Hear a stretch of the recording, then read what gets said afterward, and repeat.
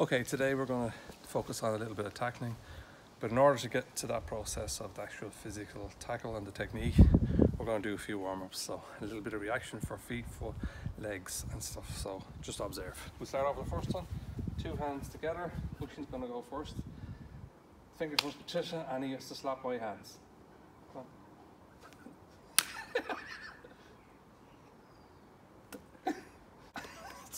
Swatting nothing. Swatting nothing. Okay, it is reaction stuff, so I have to tip. I'm going to start off with tipping. I have to try and tip Oisín's shoulders, and then Oisín will, in next, will touch my um, outside of my knees. So it's again, it's reaction, but it's good footwork as well. So if we watch Oisín, I used to do my knee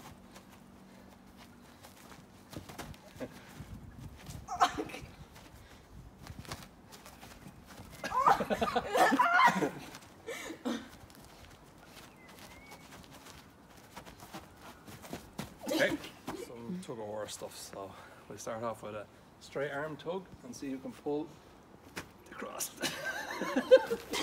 Very good. Now we're going to do the hop tug. So on one leg, try and pull the other part. Ah, your foot's down, you lose. On one foot and try and push your opponent over that he has to use two feet in the ground. So how are we going one foot? Come on, baby.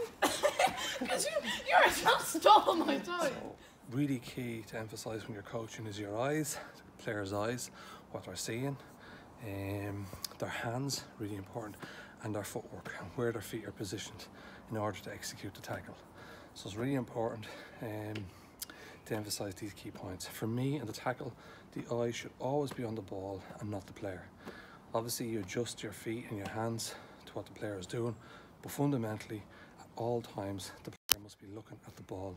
Again, what's really important in the tackle is to understand um, when your opponent who has the ball is at their weakest. In general terms, when the player with the ball is at their weakest is when they execute a skill. So again, the focus will be implementing the tackle technique at that particular time when the player is at their weakest. But in order to set up that, um, we'll go through a couple of simple pieces which engages most of our parts of our body but unfortunately our dominant hand, which is most people's right hand, is what they use for the tackle and can be used incorrectly if in the wrong body position. So what we want is two hands being equally effective in the tackle.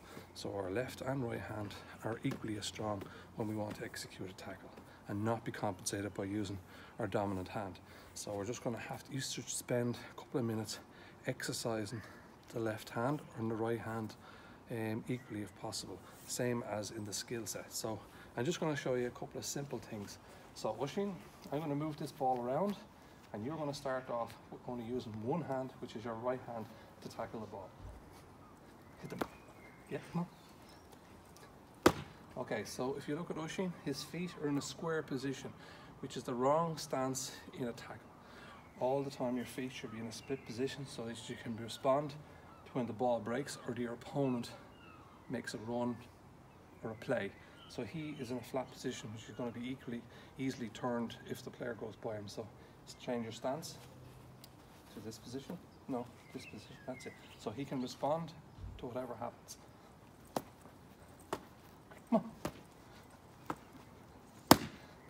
Okay, next I want to work on your left hand.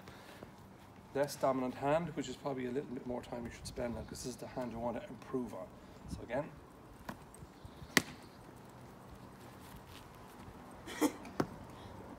moving the ball around and trying to get the player to use that left hand.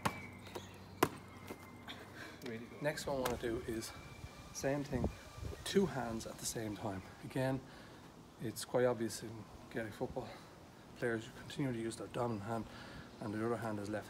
But when the two hands are used really good, it can be equally as effective. So just let's watch it, washing with two, two hands.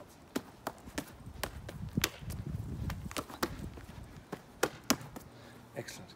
Really good way to speed your hands is critical. So the quicker you move your hands, the better in and out. So the referee can't see a hand being, and a player grabs the hand and uh, gives away a free. But really quick hands, using both left and right, and a good body position. Really important. The next bit I'm going to show, Oisín's going to have the ball. So it's really important. This is a little bit more advanced for those older groups. Most guys coming in, player advancing towards a player. Most players are right-handed, so my focus, and I understand my opponent, he's right-handed, so his dominant hand is a right hand. So watch what I'm going to do in slow motion. I'm going to hit his dominant shoulder, and I'm going to come in my other hand and dislodge the ball. All right. So again, down, face up to me there. So dominant shoulder and execute. Because most guys can hold the ball with their dominant hand. So hold the ball with your dominant hand. So I'm going to disarm that hand by hitting the shoulder, and then I'm going to really quickly. So just as Oisín comes to me, just have, watch this happen. So it actually happens when you do it really quickly. Referees or no one will see it, and you will dispossess the player. So as he's coming towards you, it's again, and it's really quick action. All right. Again, practice this at a very slow pace, and hopefully in a game situation, guys or girls will be able to execute that tackle.